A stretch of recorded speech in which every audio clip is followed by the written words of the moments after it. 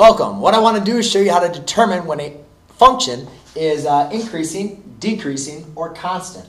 So when we want to determine when a function is increasing, decreasing, or constant, um, what we want to do is, what's helpful is to look at the graph.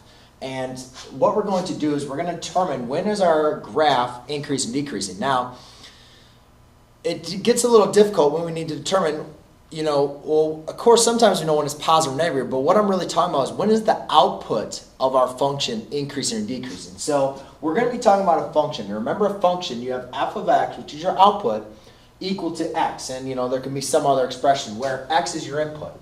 So what I want to do is when determine when my graph is increasing or de decreasing, I want to determine when I have my input, when I plug my x values in, when is the graph going, to, when is the output going to be increasing and when is the output going to be decreasing? So a couple things we need to remember. Remember when we're looking at a graph, a graph has an x-axis and a y-axis. Well, we're going to be talking about functions. Rather than using it saying it's a y-axis, we're going to call it kind of like our f of x-axis because it's our output axis. Our input goes from left to right, and our output is going to be um, going to be vertical. So let's take a look at this graph. And you can see this graph goes up and down, up and down. But between certain intervals, we say the graph is only going up. For instance, between the interval of negative 2 and 1, or I'm sorry, negative 2 and negative 1, you could see that this graph, the output, the f of x, it's increasing, right? Because the value here is at 1, and the value at negative 1 is at 3. Therefore, the graph's output value has increased. It's also increased between 3 and 4. Now we look at, well, what about, when is the graph decreased? Okay, well, let's look at between negative 1 and 1. At negative 1, the output value of this function is at 3. But then at 1, it is decreased down to 1. As you can see at 1 comma 1. So therefore, whenever your function, the output has gone from you know, a larger number to a lower number, we call it decreased. We can also say it looks at, you know, as it's going up, that's in, in, into infinity, it's increasing.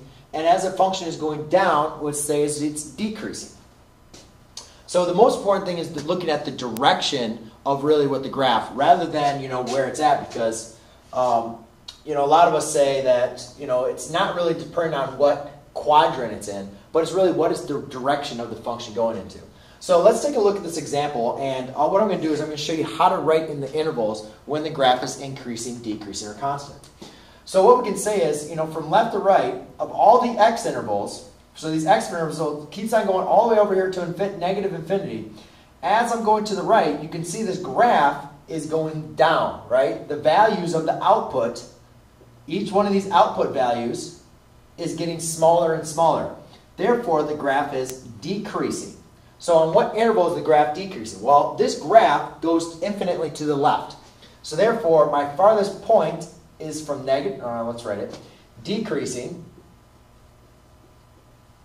So the graph is decreasing from negative infinity, because that's my farthest point to the left is negative infinity, all the way down to it stops decreasing at negative 2. Then, at no other point is my graph getting smaller. Um, let's look at when the graph is getting larger, increasing, or the output values are increasing. So I look from here to here, as my x values, as I'm going to write my x values, you can see my graph is going up. It's going towards positive infinity. Therefore, it's increasing on the interval of 0 to 0, sorry, not to 2, to infinity. Now let's take a look at it and see, well, when would the graph not change? When is it going to be constant? So you can see for, from the interval of negative 2 to 0, the graph has not changed. It's not gone up, nor has not gone down. So we can say the graph is constant from negative 2 to 0. Now let's look at another graph. And again, what we want to look at when we're looking at the graph is find the direction of uh, the outputs of the value. So we know that our x values is where we're gonna where we're gonna write our intervals, and we just want to see what is the output, what's happening with the output between our two intervals. So this graph goes infinitely to the left. So I'm going to say that our farthest point is negative infinity. Well, as negative infinity goes to this point, negative 4, my graph, you can see, is going downwards. So therefore, my graph is going to be decreasing from negative infinity to negative 4. You could also say that the graph is also decreasing from 0 to, net to uh, positive 4. Because at these output values, even though my x's, as my x's go to the right, as I move, talk about this function to the, to the right, the output of f of 0 is 3, but the output of f of 4 is now 0. So my graph has now declined. So it's also decreasing from 0 to 4. Now let's look at where the graph is increasing.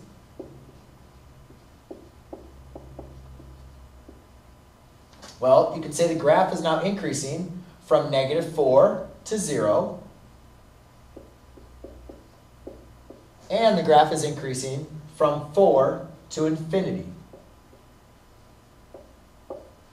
There is not a point where the graph is actually constant. Um, a lot of students will look at this and say, oh, it looks very close to being constant right at 0. But as soon, even though it's very slowly increasing, right at 0, it then starts decreasing. So there is no um, there is no interval where exactly the um, the graph is going to be constant. So what I like to do now is write up there two problems for you to go and try on your own, and then I'll come back and see if I see if we get the same uh, solutions.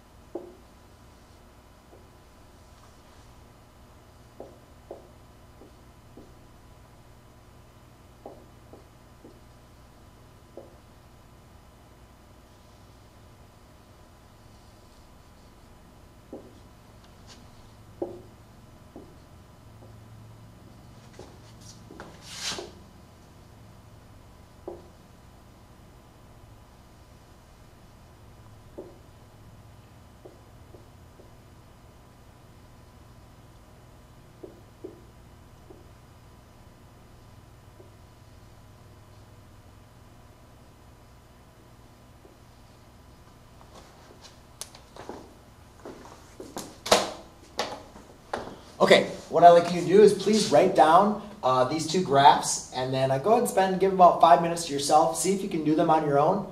And then, um, and then what I'll do is I'll come back and see if we get the right answers.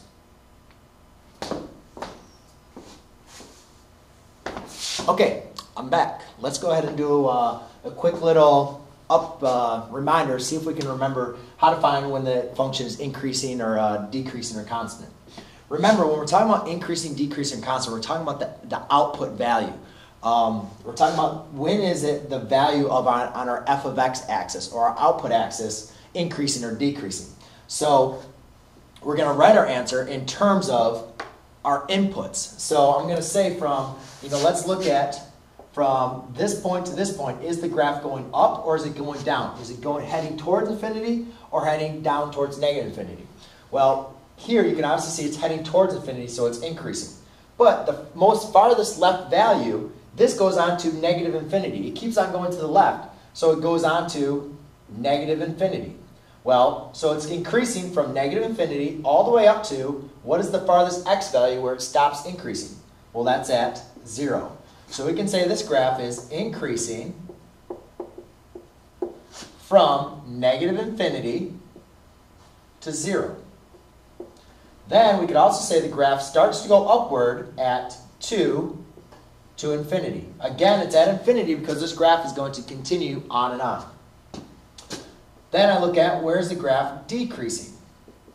Well, I can say here the graph is decreasing from my point 0 to how far over does it, does it keep on decreasing? Well, 1, 2.